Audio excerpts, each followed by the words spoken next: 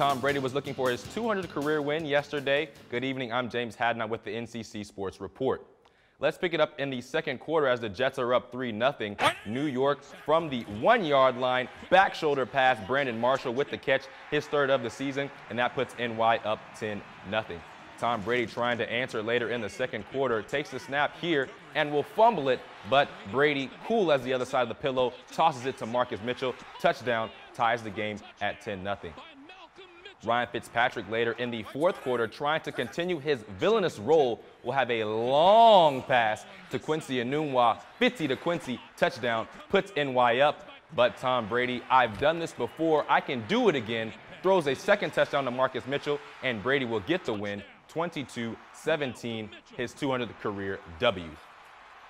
The Giants took on the winless Browns in Cleveland this weekend, and the game went as expected. The G-men never trailed in the game as Eli Manning threw for almost 200 yards and three touchdowns, while stud Odell Beckham Jr. had two scores in the 27-13 win. New York moves to 8-3, while Cleveland falls to 0-12.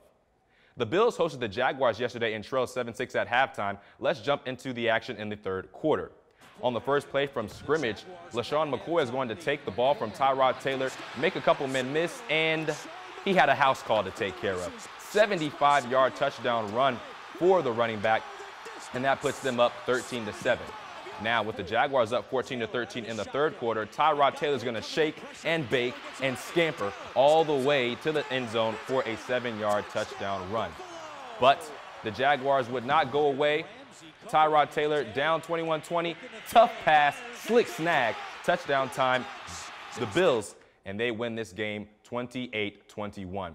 Finally, driving over to the basketball where the 4 and 12 Nets hosted the Kings, riding an ice cold six game losing streak and looking to turn things around at the Barclays Center. We pick things up in the second quarter. Brook Lopez will get the ball, smooth look off, the shot's even smoother, puts it in for three.